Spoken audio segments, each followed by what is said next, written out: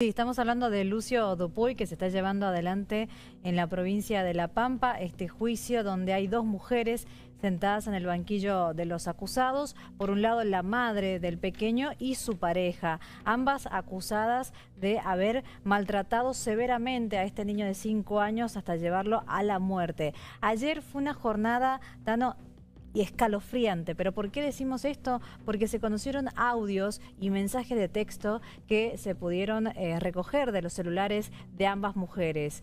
Lo que allí se cuenta, te puedo asegurar que lo que dicen, al menos eh, desde la, de la justicia ¿no? a nivel nacional, no hay registros de un maltrato tan severo como le hacían a este pequeño durante tantas horas seguidas.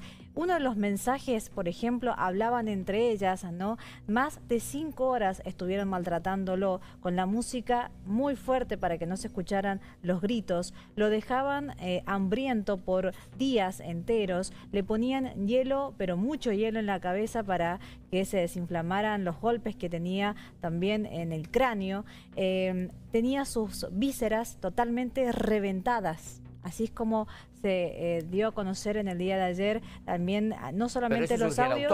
¿no? Claro, se dio a conocer los audios y por otro lado eh, esto de mm. cómo eh, llega el niño. Y un testigo que fue clave porque fue el que da a conocer, por ejemplo, cuando lo llevan al primer centro asistencial para que sea atendido, donde ellas hacen una mentira no acerca de lo que le había pasado al niño y la verdad es que eh, después se pudo comprobar que en realidad eh, había sufrido ya maltrato no solamente de ese momento sino de larga data. Eh, ¿Sabes Sofía si ellas han argumentado algo en el juicio, si se han pronunciado nada? Lo han hecho a través de sus abogados donde han manifestado que ellas son inocentes eh, pero también recordemos que hay 100 testigos que están programados para este juicio. Entre los audios, por ejemplo ejemplo, lo que... Eh, no se pueden dar a conocer porque es de instancia privada. Estamos diciendo lo que han dado ellos eh, la información desde la justicia de La Pampa, em, porque justamente al ser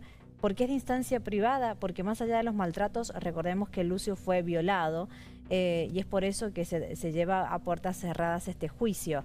Eh, otro de los audios dan cuenta, por ejemplo, y esto es una de las calificaciones que ha llevado adelante la justicia para este caso, que es el odio al género, porque constantemente en sus mensajes, en ese intercambio de mensajes entre ellas, dan cuenta de que odiaban a Lucio solamente por ser varón. Em, entonces, por eso es una de las calificaciones que quieren agregar en esta causa.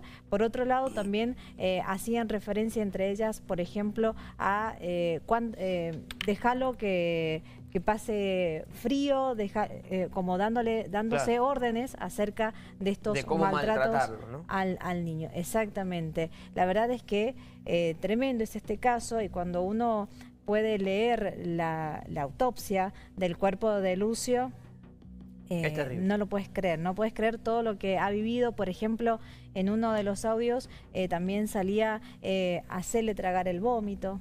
Eh, cosas, terribles de, de este maltrato que sufrió este pequeñito de tan solo cinco años.